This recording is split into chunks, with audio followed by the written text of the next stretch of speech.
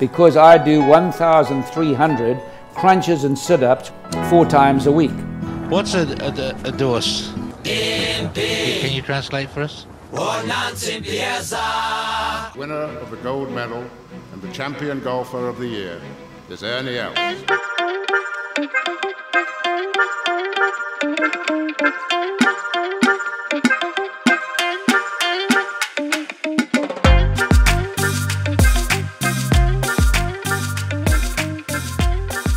Ladies and gentlemen, welcome back to the Goat Track, the podcast about golf and golf adjacent stuff, mostly from Africa. It's Teabag here. This is episode 35, where we talk about the Umdoni Park Golf Club on the south coast of KZN.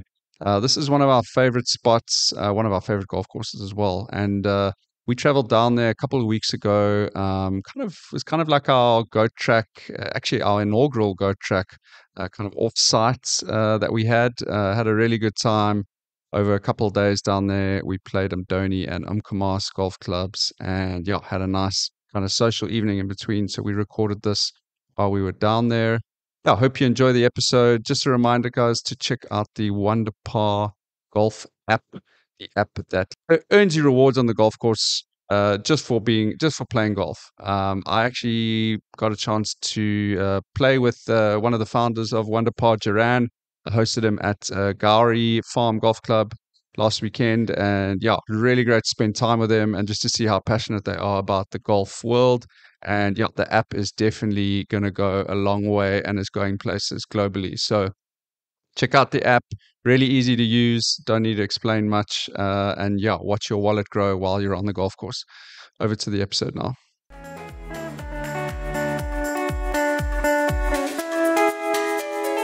Um, I'm sitting here uh, around a fire. We have a beautiful evening around us, and I have uh, Mr. Hoffman with us. Good evening, Hoff. How are you?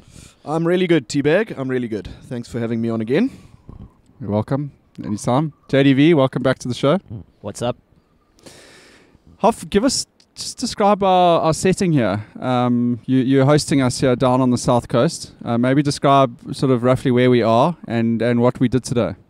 Yeah, so we are down in uh, a place, a beautiful little spot called Elysium Dunes, uh, which is a beautiful small little beach cottage overlooking the ocean. Um, I don't know how good these mics are, T, but we can hear the breaking waves, the breaking waves behind us, and uh, a slight breeze. Uh, That's actually the dolphins. You can literally hear a whale farting. We heard one just now. It's- That's how close we are. But um, but yeah, it's uh, it's a really lekker location for a pod, and following a, a really nice day on the on the golf course at Umdoni Park. Um, a little bit more wind earlier today at Umdoni Park than we're experiencing now, uh, to make things a little bit tough. But an outrageously epic golf course. Um, my score didn't show it, uh, but my my attitude in that showed that I had an absolutely fantastic day out there.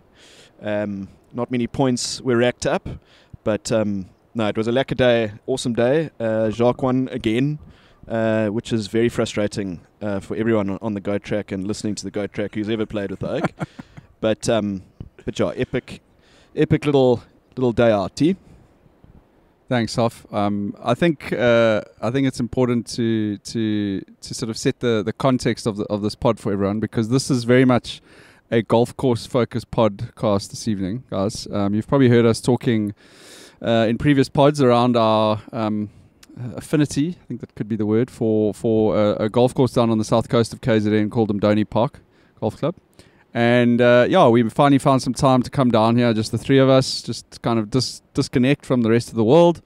Um, we had an amazing uh, day out this afternoon. Um, there were some conditions out there. It was a little bit firm and fast. Uh, the greens were a little shiny at the end. There was a bit of wind. Um, and then, yeah, ended up having just a beautiful sort of the last six holes, the wind died down. And um, it is just such a. a, a uh, I, I was thinking, trying to think about the word now, just before the podcast, um, around how I feel when I drive into Umdoni. And the word that I wrote down here was sanctuary.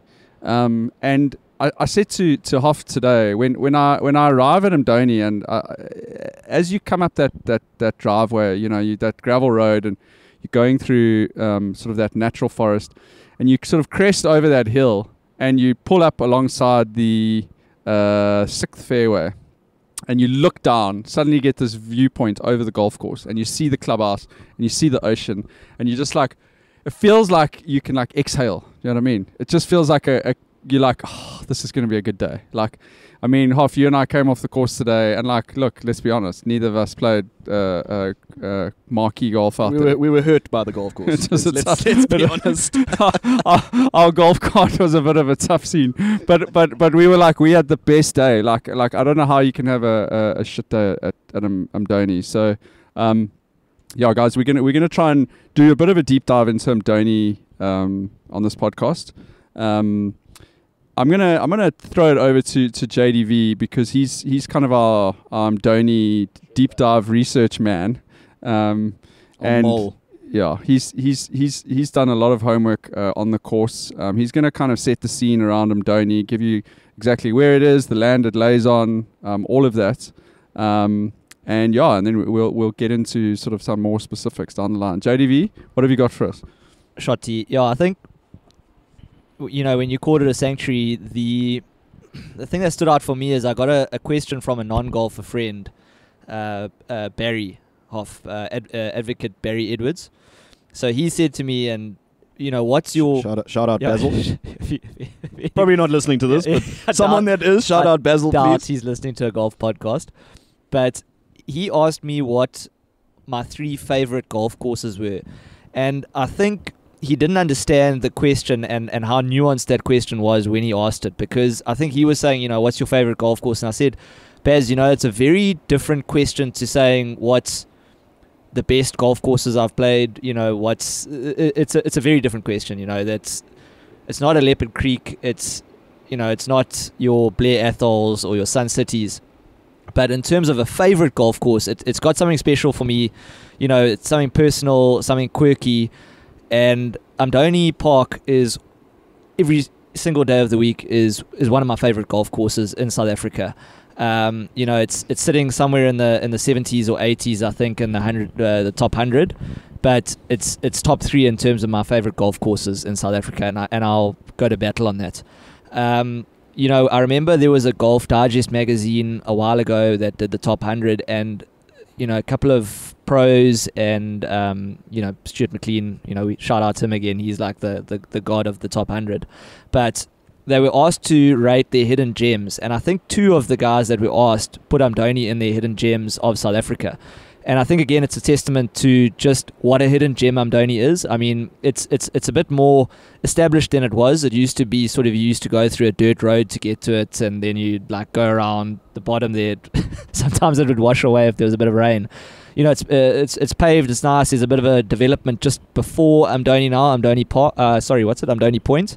But I still maintain that it is a bit of a hidden gem. Um, you've still got to go through the town of, of Pennington, through the suburbs of Pennington, down the coast to through the bush, and then like out of nowhere pops this unbelievable gem of a golf course, which is Umdoni. So And I think I think on that uh, JDV, I mean, uh, like you said, a lot of guys in KZN grew up uh, going down the south coast and, and, and specifically playing courses like Umdoni, and I was definitely one of them, um, playing for, for many many years. Uh, coming to Umdoni, but it, it's so much like the property itself is so much more than just the golf. Um, and I think it was you that said it today, JDV. Some of the trees on the property, and you know the wildlife, and, and everything that goes with it, which I'm sure you'll you'll tap into now. Um, but it it the whole the whole property is is unbelievable. I mean, the the views are almost second to none in South Africa from some of the tee boxes. The golf course itself, yes, it's it could be better conditioned.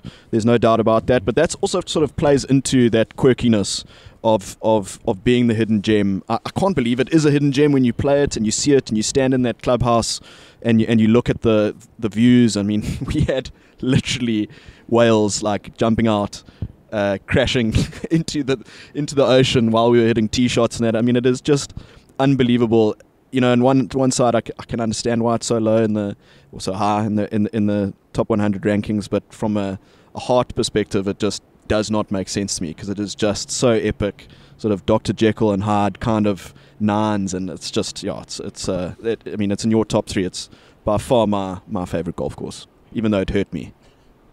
I think it's a I think it's a great example of uh, a course where uh, conditioning does not uh, it almost isn't really that relevant. Um, and it, it, it, I mean, we spoke about this in the top 100 uh, pod JDV around.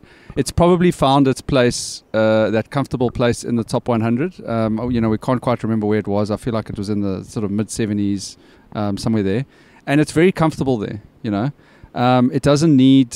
It, look, of course, um, you know, p- people may, you know, people may come here and, and say, oh, you know, if they if they just you know if they just improve these fairways or whatever, can you imagine where it would be? And like it doesn't need that. You know, it, it's comfortable in its own skin, and it talks to a part of golf which doesn't rely on um, or, or almost.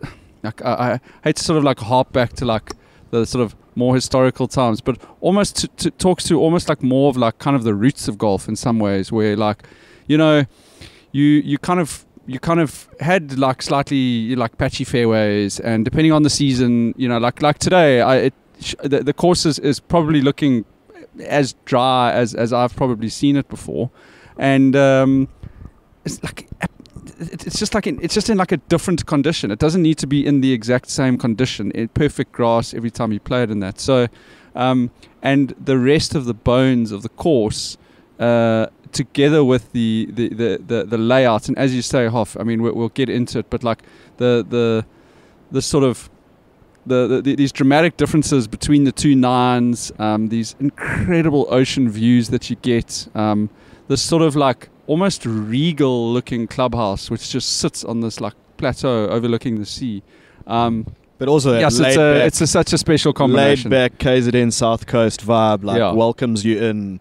Yeah, uh, not trying too hard. And, and to your point, like they, they don't go above and beyond because then they lose that hidden gem. That's that's what they I think work on. I, I don't know. Do they work on anything? I, I'm not sure. It just sort of feels like I'm Umdoni just happens. It's just there and it works. And as you say, it could be could be slightly better condition. Could they cut back? Sure. Yeah, probably. Probably grows like wildfire down here um, on the coast, but it just plays into that. And you know, the fact that pretty much everything is staked makes makes it easier to play. You hunting, you know, less for golf balls. Um, uh, obviously, snakes is a factor, um, but yeah, it just it just works. And I mean, you know, the the word I sort of I get the, the excitement driving into Umdoni when you when you crest that little um, rise from from the gatehouse and and you you know as you described it earlier. But where I feel the best is actually leaving Umdoni because you almost like feel like completely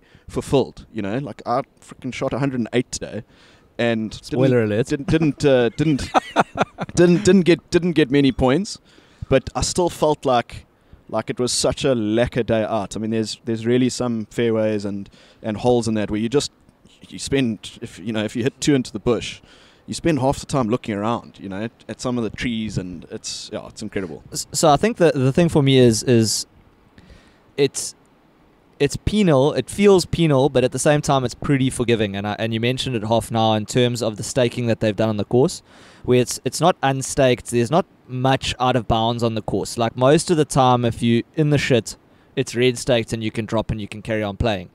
It's a short course. I mean, off the the whites, and that's the furthest back you can play it. Shout out Hoff. Um, at five thousand, sorry, I say shout out Hoff because it's he basically played off the black tees that I'm doing today. so, so today it was uh, playing at five thousand six hundred meters, which I mean is is basically a thousand meters shorter than you know six thousand six hundred what what the blacks are playing off at Cotswold. So so it's a it's a kilometer shorter than you know the championship tees at, at some of those courses. And then if you go go and look at the red tees, and I, and I, I made a note of this when I played today. I think again, you know, a lot of people have grown up playing on the south coast on holiday at a course like Umdoni. And if you're learning the game, coming to play at Umdoni is, is such a great thing because it's it's reachable, it's doable. You know, I'm looking at some of the, the distances on the par threes here from Amdonia. You know, you've got 52 meters, 76 meters, 39 meters, 67 meters. That's off the reds, That's off the reds. and But- there's still blues, aren't there? Correct, yeah, but but what I'm saying is that if you like a Lati learning how to Mm. play the game and you go play off the reds, even the red the reds at, at other courses aren't that Mm. It's it's it's trying to invite you to say, you know, come come have a hit, you know, come and enjoy it. and that's and it's that's exactly what I did.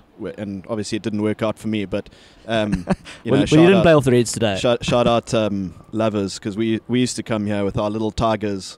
Where you have like a three wood and a, a seven iron and a pitching wedge and a putter, and, and that's exactly it. You know, we played off the reds, and it wasn't it wasn't ever a course where you felt like you were going to get kicked off or you know anything like that. It was always it was always welcoming for, for us on holidays and that kind of stuff. So yeah, you're 100 percent right there, JDV. So let's just quickly get into the history, and then we'll we'll uh, circle back around to, to where we are. Um, so, firstly, I think Umdoni was was obviously is administered by the Umdoni Park Trust. It was originally established by a man called uh, Mr. Not Umdoni. actually Mr. Excuse me. It's Sir Frank Reynolds. Um, yeah, and and uh, I just want to give a, a, a big shout out to thank you Nick Grass, who is a, a, trustee of the Umdoni Park Trust, um, a, a morning school member at Victoria Country Club, who who uh, gave me the Umdoni Park Trust hundred year book. I knew you'd find a way to bring Victoria Country Club into this uh, podcast. Um, JDV, I was just going to say, um, just for, for, for people who are listening, maybe who you know who aren't familiar that familiar with, with KZN and the South Coast and that, um, just sort of set the scene where we are relative to like maybe Durban, and then just like the property that that this incredible course sits on. Yeah, so so it's it's I suppose I mean is Pennington a bit abstract? I mean surely you'd know where Pennington is or, or not. So I suppose it's about a hundred. Not, not everyone grew up in KZN. Okay, no, so I suppose it's about a hundred k. do you know where Brakpan is? It's about a hundred k south of of Durban. Um, it's in between uh, Pennington and it's just north of Port Shepstone. Um, yeah, so so it's it's a bit inland. There's a, a, a sugar mill which is on the point, uh, the Sezela sugar mill, which I think is the Illovo sugar mill. Um, but yeah, I mean it's it's very much like a, a classic South Coast town. Pennington's a classic South Coast town a very good golf destination. We will we'll obviously discuss uh, uh, sort of the south coast generally as a golf destination. I think in a future pod, but yeah, uh, it's Pennington basically hosts two really lacquer golf courses, which is Selborne and Umdoni. Um, but yeah, it was started by Sir uh, Frank Reynolds. The original nine was established in the twenties and I'll tell you exactly when that was if you give me one second yeah. Do we know which nine it was of the of the current Yeah, 18? It was the original nine. I, I I always knew Sir Frank, you know, was going to pull his weight at some point, um, based on all the other stuff that he did. So so there's a there's a place called yeah, so Frank Frank Reynolds. so there's a, a place called Linton Hall which is just sort of opposite Selborne if if those of you who know where Selborne is. There, I, I actually didn't realize that Linton Hall is the original big sort of farmhouse here in in um, this area in, in the Pennington area. Um, and Linton Hall looks absolutely amazing. I mean, if you go and, and, and look at it, I, I I didn't even know that it really existed, and, and I just I, I knew that that sign was there, but I, I didn't know much about it. So Linton Hall was the original residence of, of Sir Frank Reynolds and the Reynolds family, um, and then they sort of bequeathed, I suppose, to the trust um, all of this land on which the Umdoni Park was established. Um, they also were also part of the establishment of the tidal pools, actually here in Pennington, as well as the change rooms that were there. Um, and then the original uh, nine holes were first completed in 1921, uh, with the second nine opening in 1928.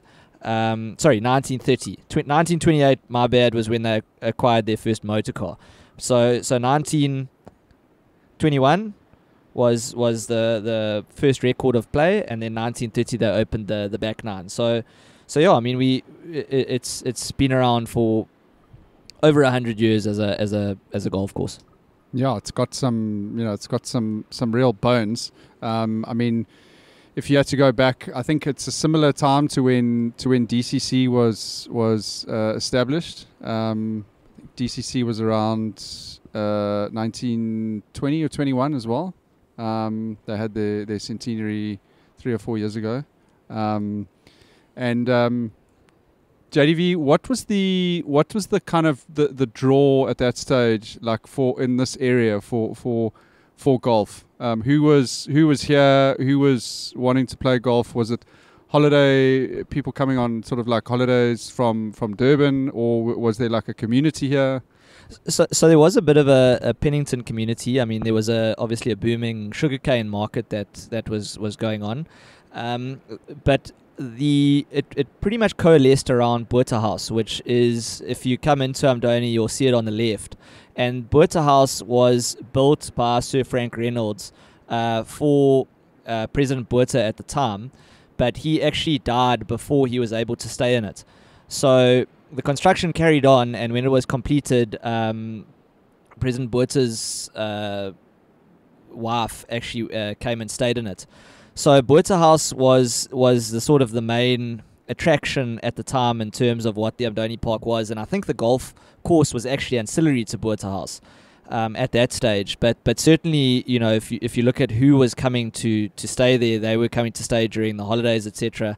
Um, there wasn't that many, I think, golfers playing at that stage. It was, you know, more of a, I think, what do you what do you call it? Like a bit of a, a Great Gatsby, you know, millionaires playground. I think, you know, from from from what I've gathered. I'm pretty sure also, I mean, for us, it's a chip and a putt to get you now. Um, you know, uh, what is it, 40, 35, 40 minutes from, from Durban. But I mean, in those days, uh, that famous railway line that runs all the way along the beach in the KZN uh, south coast would have been critical for that. And then you can see the infrastructure there with that as well. Well, I mean, it's a good must point. have been quite a trek to, to get Archer. Well, it, it's a good point, off. So, so partly, I mean, if you come to Umdoni and you drive in, and you'll see on the left there's that old windmill, as, as well as the old building there that looks like it. I mean, when I broken down. yes, but I mean, when I first saw it, I thought, oh, okay, that must have housed some grain or something farming related. But the actual that actual was was the rail siding which they constructed uh, for the purpose of construction of Botha House and for the construction of Umdoni Park, and the windmill itself was uh, constructed uh, to to pump water for for Umdoni and for the Umdoni Park area.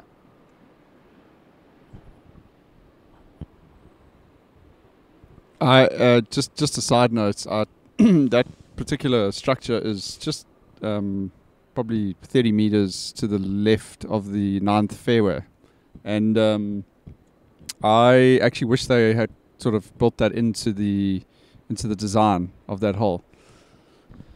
Uh, so JDV, just to jump in there, um, while you while you going on about Linton Hall and that, just an interesting point is, um, I'm sure a lot of our avid listeners will will remember the name Wayne Westner, uh, who was a, a South African pro and good friend of Ernie Els's as well, um, and uh, yeah, he actually Twice twice winner of the South African Open. there we go, yeah, won the. World Cup with Ernie in 1996. And uh, yeah, after that, he came and retired down here. And I could be mistaken, but I think he was.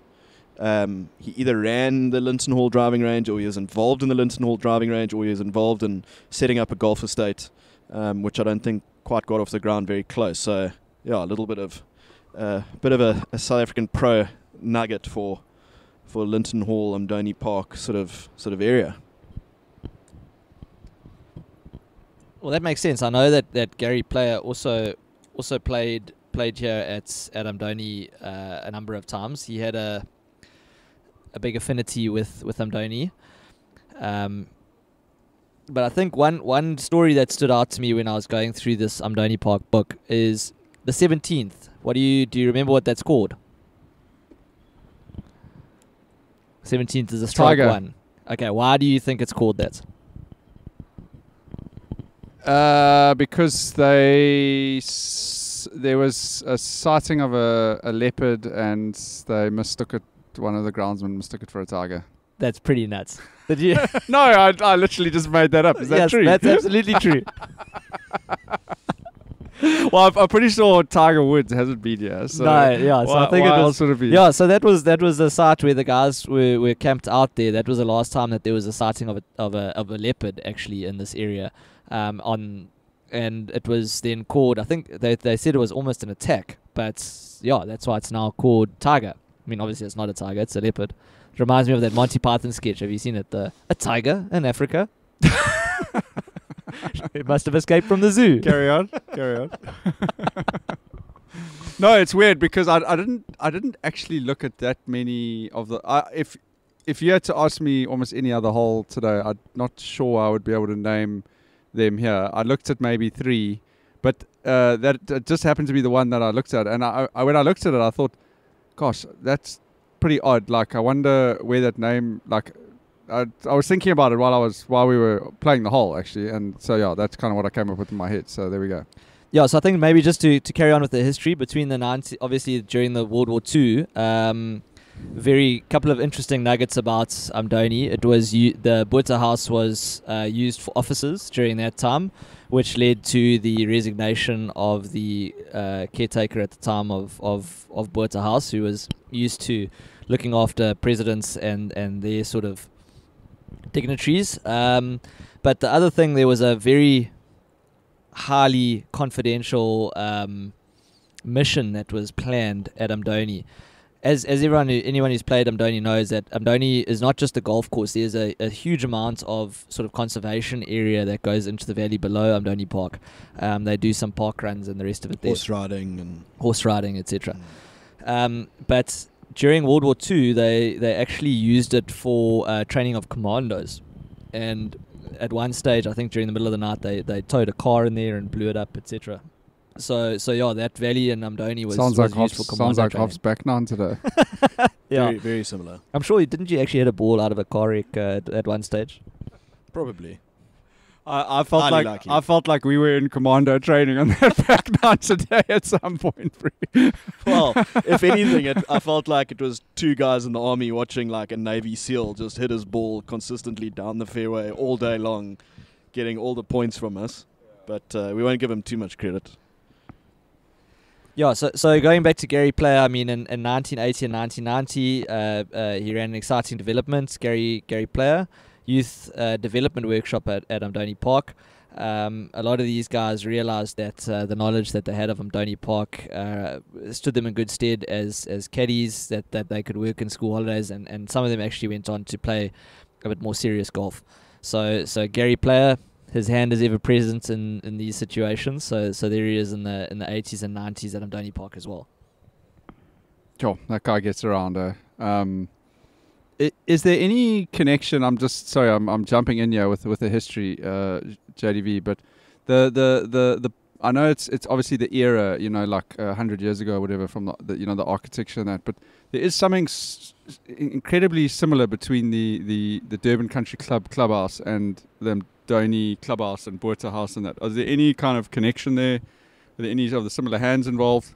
Yeah, I think I've I've said it there off off mark, but but I think that was just the the architecture of the time, the Cape Dutch uh, architecture. So I think if you were building something uh, big and fancy, that was the, the the style of architecture that was used. Um, And then just just to say, you you were talking about uh, uh, President Botha earlier. Obviously, just for for our, our listeners who maybe uh, yeah, not historically that well informed, we, we're not talking about Pik Botha here. We we're talking about Louis Louis Botha, who was like the the the, very, the essentially the very first president of of the correct. What is yeah. it? Prime, u- Prime Minister Louis the- and his the- wife Annie Botha. the the Union, which was like 1890 odd till about he died in what 1920 or 1919 somewhere around there. Yes. Yeah. Yeah, so I mean, generally that's the the basic history of of Umdoni Park. I mean, we can we can get into it uh, a, a bit more if you want, but but yeah, I mean, it's it's it, the greens were were redone during the um, 2000s. Um, and they, they put in new greens and, and sort of redid the, the, the course a bit.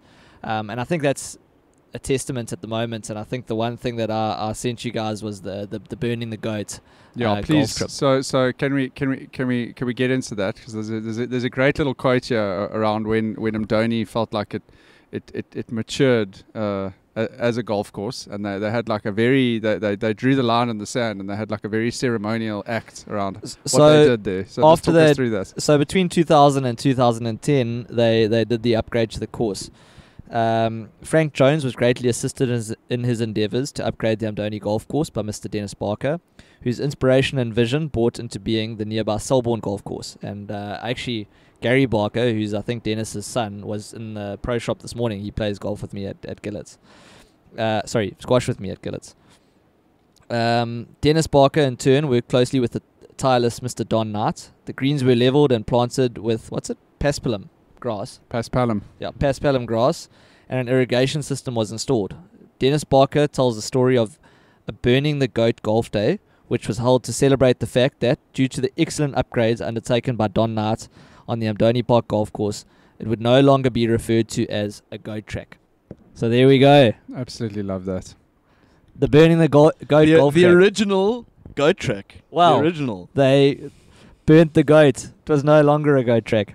No, no, but I mean, it started off as a, a goat Absolutely, track. yeah. It's That's the- that's that's that's how we're gonna at, uh, at one day when we finally decide to end this podcast, we're gonna we're gonna burn the we're gonna like burn all of our microphones and the and ghost- I'm Donny. yeah, absolutely. So so hear it now. The the very last podcast you, you will ever hear from us will absolutely be on the on the deck of Umdoni. And thereafter, we will throw our microphones into the sea, almost like the, the, the lady in, the, in that final scene of Titanic, you know, where she drops that Heart of the the, ocean. the, the ring. Yeah, just bang, like We'll have all the trust conservationists like, don't throw that shit into the ocean. yeah, more plastic. No, but I love that because uh, I, I I love that tie-in. I love uh, I love that uh, I love that book that you got. I love that tie-in with with a place that uh, it's really cool to hear your guys' stories of playing here when you you guys were young because I obviously you know didn't grow up in KZN, but I remember coming here. Um, you know, eh, sort of starting to explore when when I first moved to KZN in like 2008, and starting to explore different golf courses. Uh, at that stage, um, used to play a lot of golf with my oldest brother, um, Stuart.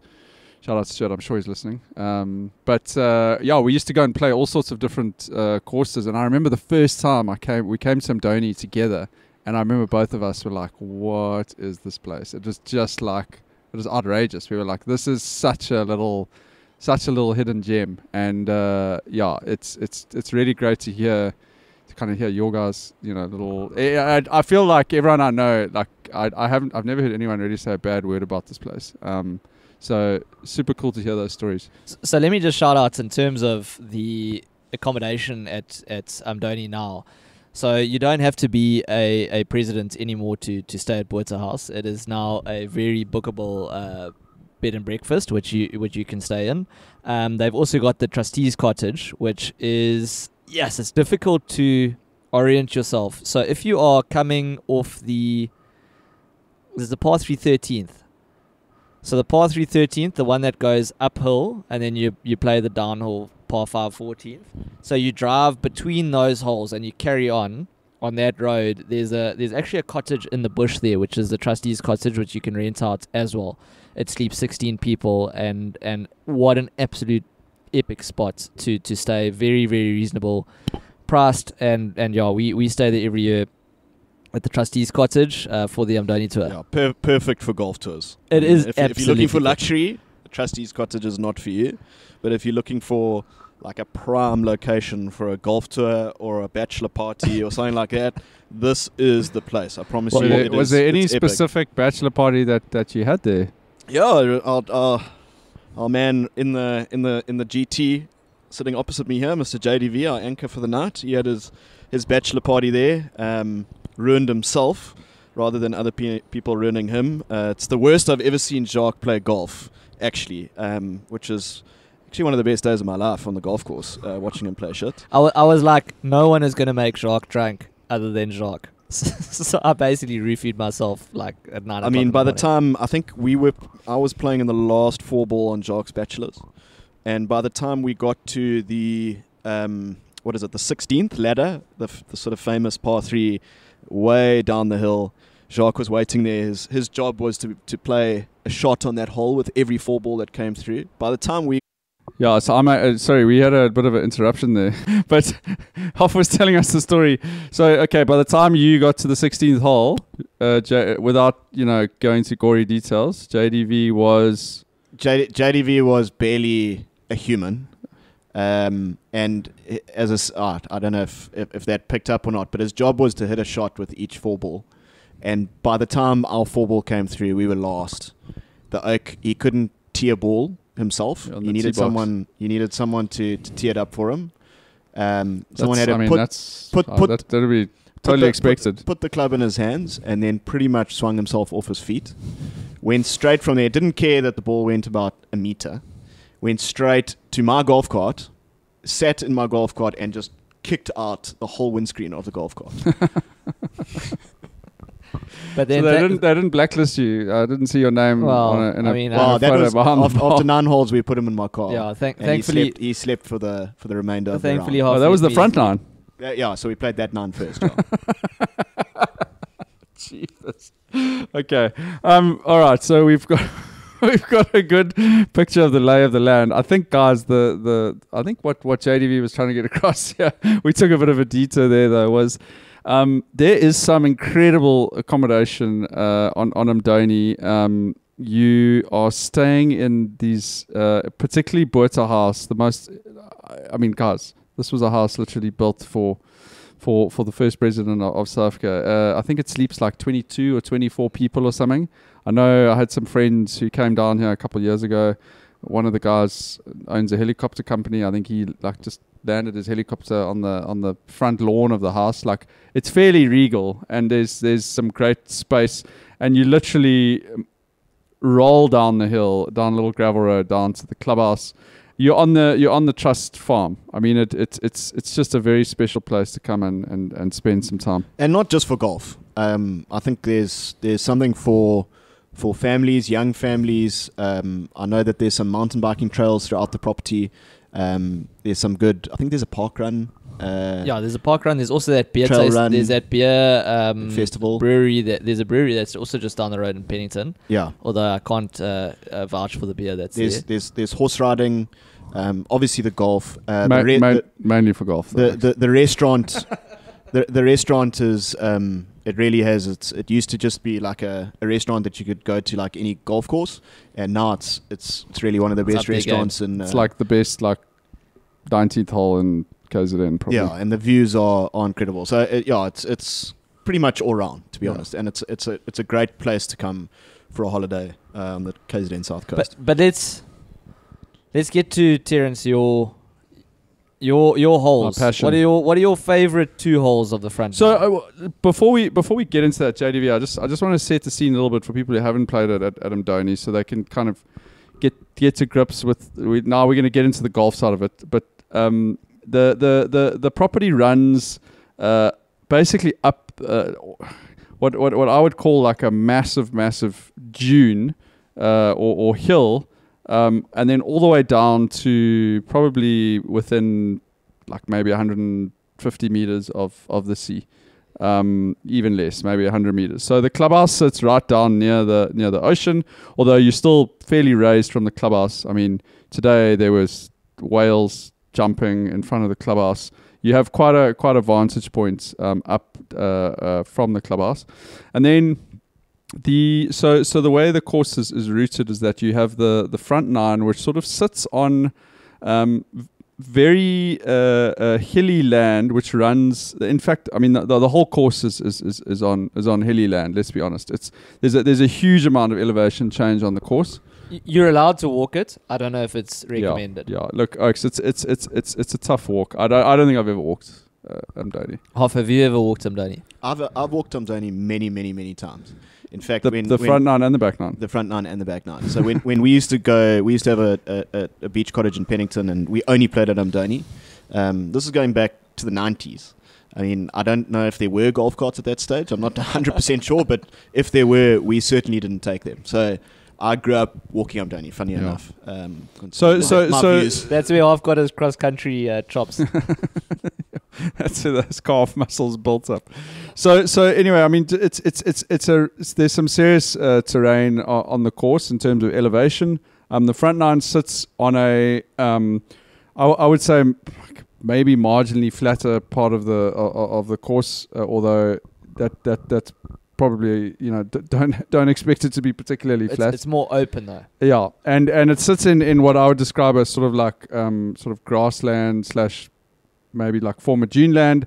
Um, but there still are some like massive trees and uh, vegetation in between the holes, and then the way that the, the routing done of the course is actually really really well though because you you still come uh, back to the clubhouse uh, after nine holes and then you make your way up uh, uh, through the the the tenth, eleventh, and by the time you get to the twelfth hole, the the twelfth green, you are essentially sitting at the highest point uh, on the course, which would be this massive top of this this ridge, which is uh, where the twelfth green sits, and then you also uh, hit that same ridge when you tee off on the 18th tee box. So you you you you climb right up uh, on the 12th hole, and then you you tee back down, and and from around the uh, the 12th green, I would say. You, you find yourself like completely immersed in this incredible coastal forest, um, which basically starts from the 12th tee off, where you hit up that par three, um, and you hit between a row of trees, and from there on, on the back nine, all the way till the 18th tee box, you play through some of the most like gorgeous like coastal bush that that, that you can imagine, coastal forest um, in KZN, um, and yet it still feels fairly forgiving. You know, it it, it it's because it's, short. it's still it's, a short, course. Um, the fairways are, are, are reasonably wide. There's a, there's a couple of, of, of narrow holes, the 17th in particular, but generally, you know, it's it's it's it's reasonably forgiving considering the, the, the, the sort of forest that you're playing through. Um, so that's kind of a, a rough layout of the course. The front nine is is very very open. Um, I mean, you c- you can blast it you can blast it pretty far left and right on quite a few of the holes on the front nine, which Hoff and I did today um, fairly fairly well. And considering we were sharing a golf cart, invariably I was left and, and he was right. I think uh, JDV can attest to how long it took me and Hoff to play the second hole today. On I the think sec- it- on the second I hole. think it was about 20 minutes. I was about to say on the second hole, I felt a bit bad. I was the guy sitting at the green, hands on hips, saying, "If it's going to take us this long to play two holes, we're not going to finish nine holes." It felt in- like in it felt like you were like our dad. like you were standing at the second green. Hoff and I had been all the way onto the first fairway. We came all the way back. I'd cleared my inbox of emails. Yeah, listen, um, it was it was a bit of a journey that hole. But I mean, like you say, the the fact that the the front is so open and the back is this coastal forest is this like I think I said it earlier, this like Jekyll and Hyde kind of scenario where you get absolutely hammered by the wind, or you can get hammered by the wind on the front nine, and even if it's windy, it just gets it's like dead on the back nine and and hot and Mm. as you say, the most Claustrophobic. yeah, the most incredible like Mm. coastal forest Mm. compared to the front nine. It's it's yeah, it's it's, it's quite a journey actually. Mm, mm. And I, I what, what what I really love about it is that is that on the on the front nine, you you get so so when you when you come up the um like to, to the top of the fourth green, you you start getting into that forest a little bit. So you stand on the fifth tee box and you you know you, you you're there. You you're almost up on that ridge. On the cusp. You're on the cusp and you're like, yes, look at this forest. This is amazing. And then you go back down and like back into the grassland, almost like feel like back into the safety, you know. And then you start again on the on the tenth, eleventh hole, and then it takes you back up, and then you go on that proper journey. 13, 14, 15, 16, 17, and then 18, you're like, like you feel like you can breathe. You know, it's it's it's it's quite a it's it's an amazing uh, uh, uh, uh, routing like that they've done with with the holes, considering like that they sort of came in and out to that clubhouse. Um, I mean, you you earn some proper discovery like vitality points, like if you're walking. If, if you if walking. route, yeah, yeah. Um, okay, JDV, I'm gonna we're gonna we, we're gonna we're gonna round out our, our chat now a little bit, and then we'll have some closing thoughts. Um, so we sort of challenged ourselves to come up with our with our two best uh, holes from each nine.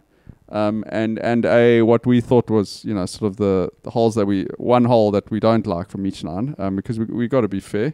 Um, so I'm gonna throw it to you. What are your two best holes on the front nine, Adam? Are you giving me both of my holes? So Huh? are you giving me both of those holes? No, no. I, it, we, we're not playing Okay, a we're so- not playing a draw here. Look, if if I agree with you on them, I'm I'm gonna um, Leave it at You're not taking them off the board, yeah. All yeah, right. Okay. yeah. So I'm going to go with nine to start with. I think nine is is uh, an epic hole in the sense from a aesthetics point of view.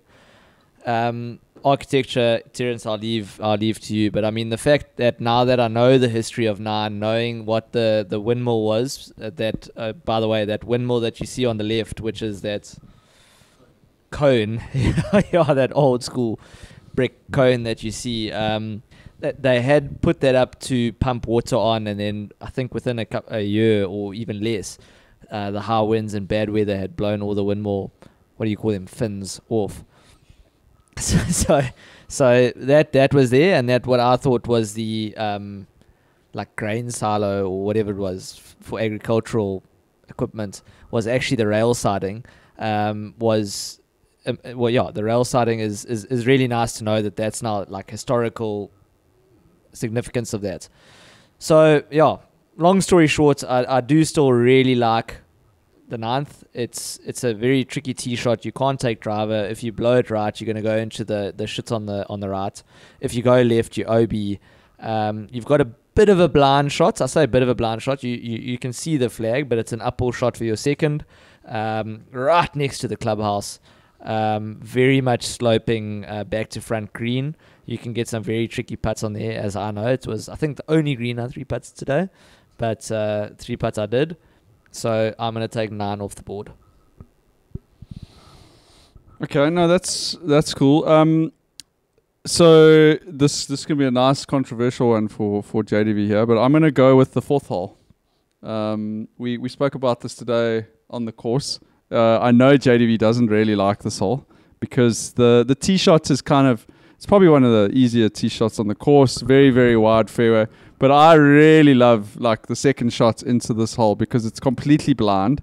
The the green site is uh, one of I think honestly one of probably the top three or four green sites on the whole course. Um, there's a huge big tree that guards the, the, the left hand side of this green site.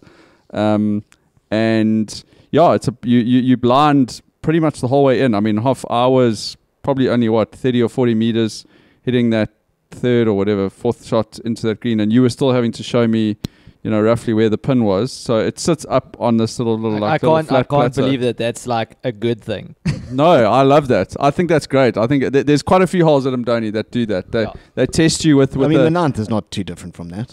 It's But blind. but you can see the flag from the from the bottom Mm, of not the if hill. it's a back Mm. flag. not really. Yeah. Mm. So so anyway, I I think the the the thing that for, for me is when you're standing on the green site, it's just it's just a stunning green site. It's like I mean, I took that photo today of you guys playing, and like like that you've got the ocean in the background, and like yeah, like an uphill hole is not necessarily for everyone, but uh, it's it, it's got some interest that that that hole for me. Um, and uh, yeah, it's that, that that's my pick. So what's your what's your next one? So, so just to the only thing I would push back on is that the green site is cool if that was almost in the opposite direction because you have to look back to to get everything that you're saying. Like if you if you're looking into it if that green site wasn't the way it was uh, projected which is into the dune i mean you, you you play into it you don't really see it and only once you're on the green side do you get to look back and see everything that you are sort of gushing about It's, it's, it's almost like a metaphor for life, JDV. You know, like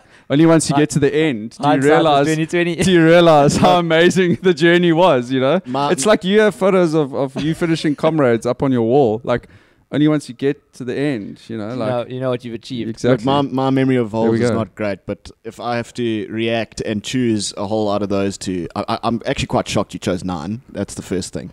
but I, I, yeah, I agree with you, T. I, I, I don't know if it's my favorite hole in the front nine, but it's definitely up there. It's got that beautiful old tree that's kind of like fallen over a little bit to the left of that green, which is also really, really cool. Um, and yeah, I think that, that view looking back is is is is really lekker. It, and it is a nice tee shot as well. It's nice to get a little bit of a an open base. yeah, it frees you up. You know, it's it's like just go ahead. I mean, I I, I didn't hit driver today because I was like driver was a tough scene today for me, but you know, it was um, yeah. Uh, I, I, it it it's it's about the second shot for me that all and listen, it's about that big tree on the left as well because I've I've hit. if you go down, so there's there's some angles on that hole as well. If you go down the left hand side of that fairway, or if you're on the left rough and the pin is like at the back, you can that tree is very much in play. Um, so yeah. JDV, what is your what is your sec? What, what's the next hole on the front nine? And maybe follow it up with with like the hole you don't like. Okay, so you're gonna think I picked this one because I birdied it. Spoiler alert. But I'm gonna go with the third par three over the water. Uh, two tiered green, very two tiered green. Um, it's a very short hole, uh, playing 160 meters off the white. But yeah, it's a it's a it's a it's a I don't know. It's a solid hole. I mean, over water, get it on the green, two tiers, beat uh, ocean on the right. I don't know. Golf course on the left.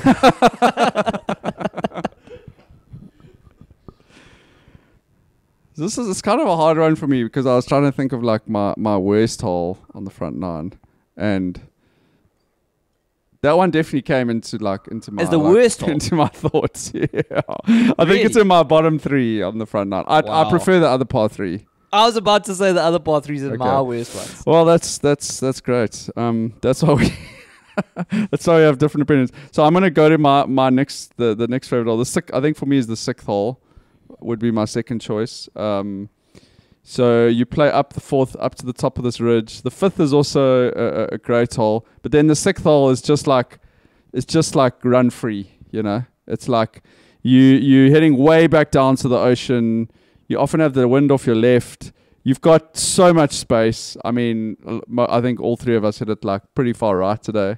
But uh, like you can get down near that green, like in the in, in the right wind if you really like hammer a drive. Um, it's just like a like go for it, boys. Like it's a it's a, it's a nice like freedom hole. Um, so that would be my that would be my shot. I'm gonna, I'll I'll I'll take the the soapbox here, JDV, and say this, this is kind of tough, but I, like, it was probably between three holes, and it's just something about the second hole that like I just like I just don't like. I completely agree with Yeah, you. That I was, think it's my I think it's my me. worst hole, which is also probably why it took us 20 minutes to to to finish today. But I don't know, it just doesn't do anything for me. The second hole. Well, well, firstly, it's it's like for a higher handicap, it's a virtually impossible tee shot because Yeah, it's you like can't tees go- on the left. it, it, it, it just visually it pushes you into that bush in the right. Yeah. and then everything bounces right To the right, into yeah. the shit. You can't And keep a. I don't think left, you can't keep a ball on the fairway. Yeah. And then if you go at the green, unless you hit the green, it's gonna bounce over it, and you're in shit. yeah. Yeah, and it's yeah, I, I, I'm with you there. Okay. So, um, Hoff, have you got any any like what's your what's your worst hole on the front nine? Well, that's definitely the worst I played on the the, the day. Was that I think my drive was like nine meters, um, followed up by.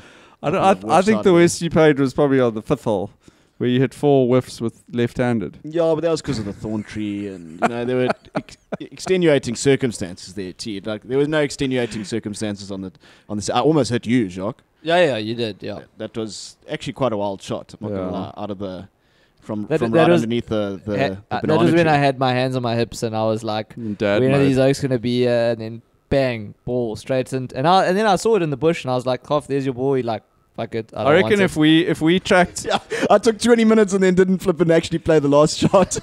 if we tracked our if we tracked our, our kilometers done on that hole, I reckon we almost drove a kilometer like on that well, hole. it's definitely the furthest I've driven left playing the second. Was looking for your ball on that hole. It was like, well, if it I don't did, know where if it did went. come through here, then it's because of the hard fairways. It's probably Yeah. run down the first, so we ended up like right near the water.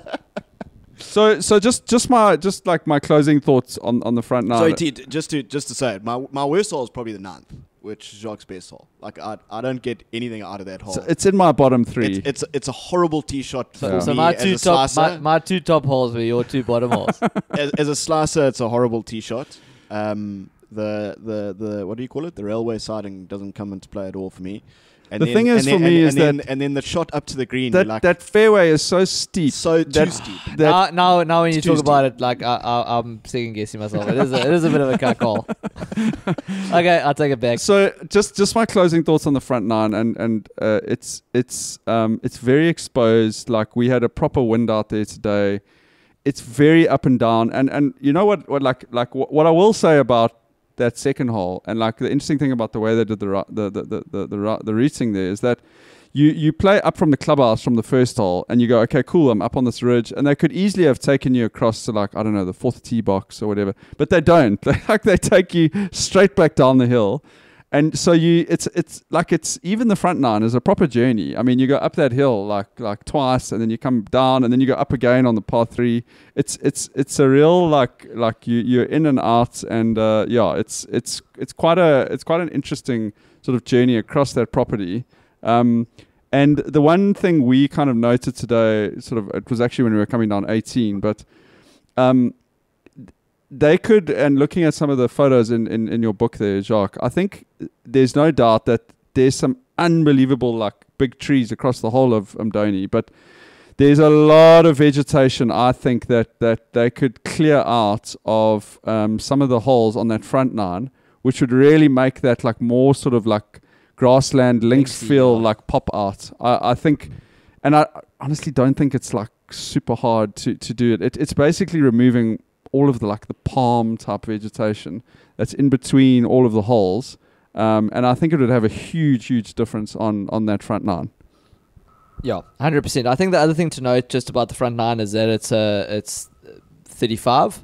So most of your par 72s are 36, 36. So you might get a bit balked by, you know, a bit of a low score, even if you think you played better on the front nine, because it's it's one shot essentially less than what you used to.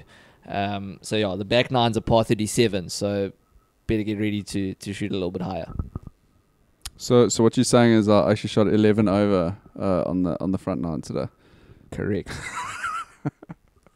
yeah, listen. Score score was not a score was not a relevant thing today. Um, okay, so then uh, guys, so basically the back nine, you you you tee off. I think we spoke about. You go up up 10, 11, 12, and you're suddenly on top uh, of this property, and you're into the the forest. So, JDV, hit me with your.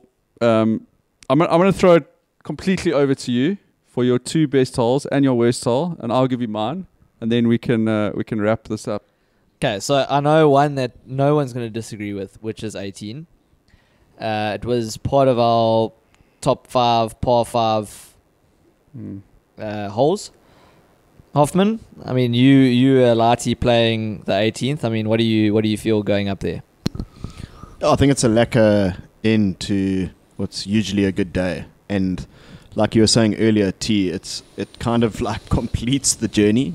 Mm. So you're going through the the the forests, um, the coastal forests, and then next thing you like pop out on this tee box. But the tee box is still surrounded by the forest, and you have this like unbelievable window towards the ocean. Um, so yeah, I, I- think it's it's definitely one of the one of the best holes on the on the on the back nine. Probably one of the best holes in in in, KZN. in, in KZN. Yeah. Interestingly, it's it's it's plays 502 meters, but I mean, it doesn't. I mean, that's that's the distance, but it doesn't play that. I mean, it's not. If you had a good drive, I mean, I'm not a long hitter, but I can get to the green and two there. Um, It's also a great hole, like if you've got like a close match going on, because it's Oh, not a it's so difficult good. hole, right? Yeah. It's it's wide open, and once you hit the fairway, there's nothing there's nothing difficult about it. You can get your ball down to the front of the green or whatever, and like so so birdies and eagles are like on the card, but but but it doubles on the card as well. If you if you miss off the tee, like so, it's a great friendly just as as Hoff says i think it's a great way of describing it it's like the end of your journey it's like it's not going to beat shouldn't beat Yeah. you up um, it's it's it's a it's a it's, it's a really nice. There's also finishing something about hitting a driver like off the top of a hill. yeah, and and like That's awesome. and just seeing it what- float over the you- ocean. You're Yeah. basically hitting it into the ocean. into the ocean. Yeah. All right. So what's your what's your second what's your second one? Yo. Um. I mean, there are three par fives on the back nine. I, I really. It's a controversial one. I want to go with that other par five, the the thirteenth. But, I mean, like you said, can you can you call one a par five that you can't hit driver? T, you go first. I'm gonna give this a bit more thought. So this is this is this is going to be a contro- controversial take from me as well, but I'm actually going to go with the 13th. Um, I actually wrote it down, and you you you said it to me today. You're like, oh, this is taking driver out of your out of your hand. Um, and I said to Carl, I said, Is it the dog leg? It's a it's a it's a dog leg. Is that the around. one that you, that and then you hit and it came back at you? yeah, yeah. but I said to so while while while Carl and I were in the rough there, I said to Carl, I said, I'm actually blaming Jacques for my poor performance on the hole because the hole didn't take driver out of my hand. Jacques took driver out of my hand by by telling me how the hole takes driver out of your hand before I was even on the tee box.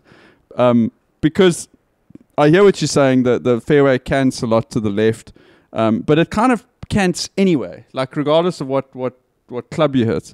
And I tell you, uh, and I know this goes against you know what I said about. I think are really the key to a good par five is you know is is you want to be able to hit driver and then have that decision making shot. But standing on that green today, looking back at that hole, I just love the the characteristics that that hole has because it has it, it's got so many different facets to it. You have this fairly daunting tee shot, and I agree with you. It's not an automatic driver, but It's you a far, it's a far vibe. but you can hit you you could you could hit driver down there, and I know you're probably going to end up down in, in the left rough, but but you're going to be way You're- closer. you've got to be so exacting with the driver. I mean, if you're hitting a driver, you've got to hit it basically over the tree You've line. got to you've got to hit a, a pretty big like fade, I think, down down down the tree line to the right and land on the right fairway. Look, it's not it's not an automatic driver. I, I get that, but but there's just it's just an interesting hole. It's got that like the fairway dips down. Uh, and you have that sort of like almost like water course that runs through it.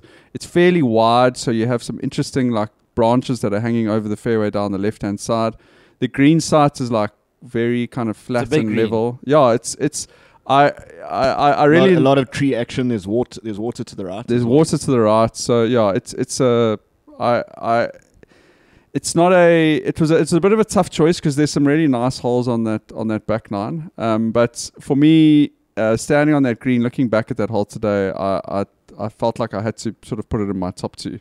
Um, JDV, uh, what is what is your have you, have you said have you said your second choice yet? No, I haven't. Uh, Okay. I've given it some you're thought. still thinking.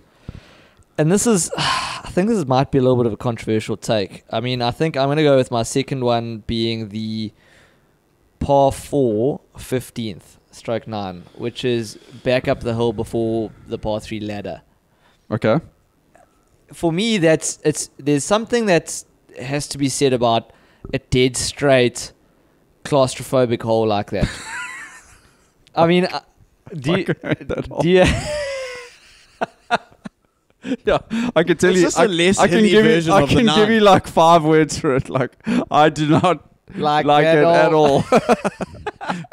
yeah, straight like dead straight holes. Like totally freaked me out. It- straight, It, it pretty reminds short. me of the was it the fourth or the fifth hole at like Beachwood, where you just had like like like bush on the right, bush on the left, like maybe a twenty five meter wide fairway, and like it's like as straight as. Do you like know what I anything, like, about? Do you know what I like about good luck. hole? There's there's there's options. You like there's options. I you mean, like you can take a you you can take a driver. You Yeah. can take a driver, and honestly, like a big driver can hit that green. Honestly, like a big driver can hit that hit that green with the Mm. right wind, etc. Or you can take an iron and lay up and take a pitching wedge, but the the the task that it's asking is can you hit the fairway with with your tee shots? Mm. and it, it is it is a test. I mean, I, I I don't know. I really like it. By the time you get to that green, it's a very narrow green. You have to have got far enough up that you can hit a, a It's a, it's a test that there. all three of us failed today. Yeah, absolutely. I s- I, f- I Half- fell, I half- fell straight off the tee. Half, half spectac. Well, all th- I think all three of us failed off the tee quite spectacularly, because Not uh, as spectacular as me. it is a worrying shot though when you when you get there on the tee box and you're like, shit, I've got to find something that's not gonna like go left or right. yeah. So uh, th- this, I think this is a good way also to, to, to like round out our chat, guys. But um, you can hear we've got a there's a lot of debate around you know which holes we like and don't like at Adam Doney. But I think one of the things that also makes the course enjoyable is that almost every single hole on the course they they have uh, lateral hazards down pretty much the left and the right hand sides of the holes. So yes, you play through this beautiful coastal forest on the back nine. The whole thing is is basically marked as lateral. So it's a great way to like improve pace of play. Look, we did find quite a lot of our balls today that went into those forests. You know, the the ones you don't find, you you you know, you take your lateral drop and you move on. You know, you're not reloading. Um, it's the same on the front line, even the grassland. Um, it, it it just, gosh, like like I I wish more courses would kind of look at the way they do their penalty areas um, in in that way because it makes it makes your your round more enjoyable. It, it's a great for pace of play. Um, it's it's yeah, like it it's a it's a it's one of the standout. It's one of the features of Umdoni that that you don't see that much at a lot of other uh, courses that have a lot of like you know bush and like you know those types of areas. So, um, guys, we've we've spoken a lot about this this uh, sanctuary of golf.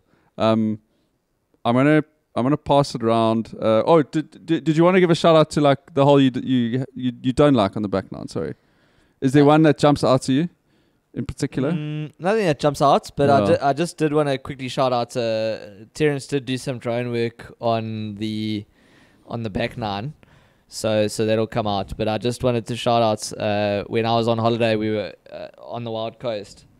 My brother-in-law had flown his drone now for the first time ever, and he was like flying it, and he was like, check it, check it the the sea and the rest of it. Look look at the dolphins out there. Like flew it back, then flew it back out to the dolphins again. Then this thing started beeping, so he said, "No, no, no, push, go home, the go home button," and it just started like flying out to sea. No and then it became like one of those black box. What do they call it? Black box moments. Like he's like, "Oh my word, no, this thing's going out to sea. Like abort, abort. like how do I get this thing back?" Then like everyone just saw this car crash starting to happen. He's like, "Oh my word, I don't know what to do here." Anyway, the thing just started going out to sea. End of transmission. dropped, His drone dropped in the middle of the ocean. gone on the Never- dolphins, Never found again. Never to be seen again. littering. So super awkward uh, beginning to the holiday where everyone was like trying not to laugh. Everyone is so excited about having a drone on their holiday. Yeah, the drone was sick for the for the 15 seven minutes the that seven we had minutes. it, yeah. yeah, yeah. So so so what happens a lot is that guys fly out to like see dolphins, and then they're like they don't realize that like while they were going out to the dolphins, the, like the wind was behind them. no, the wind was pumping. Yeah. when we were doing So, so they're like, oh, I got out to these dolphins so quickly, and then they turn their drone around, and the drone's like, it's a bit like our golf cart today, Half. It's like, like we had like ladies walking past us on our golf cart today. The thing's in like, like sl- slow mo. Um, uh, yeah, no, that, we had a very slow golf cart, but um, yeah, jeez, that sucks. Uh, lose, like having having uh, having seen a few drones crash in my time, like I, I feel I feel the pain, especially when it's like at the start of the holiday, and you also never get that footage back, right? Like yeah, yeah. you're so never gonna see that footage of those It's- dolphins. It's like I was like, well, you can find it because you can look at the footage. It's like, no, that's not how it works. yeah, no, that thing that thing she gone. Um, guys, uh, this has been a really fun chat, and uh, yes, it was such a lucky day today. Um, thank you guys, really enjoyed it. Um, I, I, I'm not going to actually shout out like a bad hole in that back nine. Like I know people will have a go at the at the 12th, uh, 10, 11, 12th hole. The 12th hole is like uh, side note. Hoff, tell us the side note about the 12th hole, the very uphill par three. It was the most uh, hole, most hole in ones in KZN for a while. Allegedly, allegedly. I don't, I don't know how true that is. but Yeah, For what was it, Jock? Like ten years or fifteen Yeah. years or something. This is the story we were told that it was the most, uh, the most hole in ones in South Africa, because the it's so far uphill.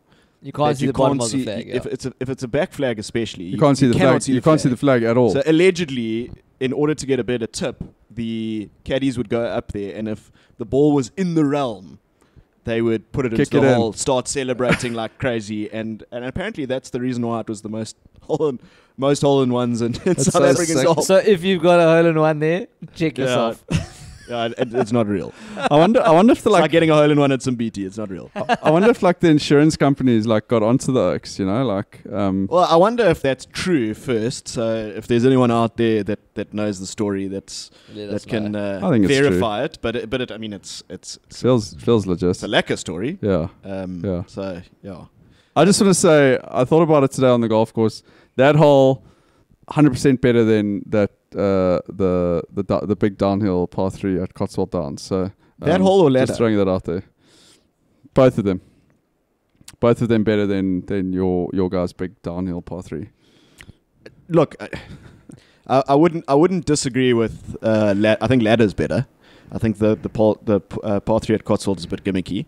I think ladder's a better par three. I, I I was gonna say my worst hole on the back nine at Umdoni is that uphill par three. Yeah, no, I, it I- is. I, don't I don't like that hole It- at all. It is. It it it it, And my favorite hole is the seventeenth by by quite quite a distance, just because of the because of the tiger, forest. the tiger that they saw there. It's a good hole. That's that too. 17. But the forest with that like old tree falling Yeah, into yeah. the fairway, it's It's a, it's a bloody tough hole. It's Tight such a- and long. yeah. Yeah, And I and, Well, I, was, guys- and I was robbed on that hole by De Villiers. Guys, this has been a this has been a really really good chat. Uh, thank you for today. Uh, thank you to everyone who um, has been involved in the Umdoni Park Trust over the years. Uh, it is such a golf sanctuary for for people to come to. Um, if you are in KZN and you're organizing a golf tour, uh, sorry, if I mean if you're from outside of KZN and you're organizing a golf tour down to uh, the south coast of KZN, you absolutely have to put Umdoni on your list. Um, it 100%. it absolutely. may it it it may not uh, as we said in the beginning uh, you know there's there's different levels of um, conditioning that you can expect at courses you do not come to Umdoni for conditioning um, you come for the location for the experience uh, and for the course layout and uh, I promise you you will not be disappointed and um, yeah uh, look at some of the accommodation options as well because it's also a great base to book a golf tour um, in this area so Gents, with that, we need to get some meat on the braai. Um, it's looking like a bit sad. We need to get some wood on there. Hoff. Over and out, boys. Lekker, lekker. Shot.